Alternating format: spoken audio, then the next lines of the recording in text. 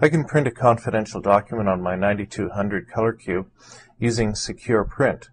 So here's my document. I would go into Print and go into the properties on my ColorQube 9200.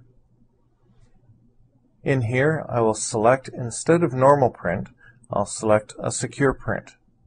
Once I'm in there, I need to enter a passcode.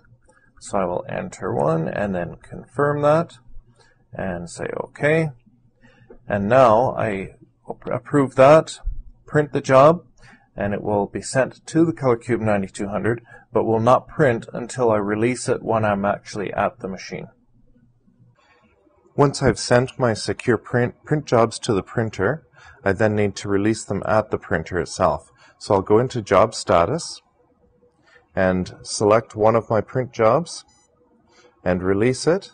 I have to enter the password that I created and that's just at the keyboard. I release the job and it'll print all of my jobs.